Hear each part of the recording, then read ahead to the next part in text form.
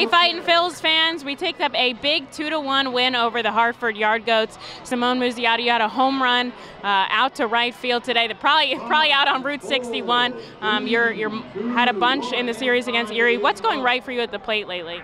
Now I'm working more like with my hitting coach. He say me like be ready for hit. It's like no lazy on the home plate. It's more like attack to the pitchers. It's the better adjustment I can do. So you're coming out a little bit more aggressively lately, would you say? Yeah, more aggressively. Uh, and also an outfield assist that was a huge play at the plate today. Um, you're picking up that ball. You think you got a shot there?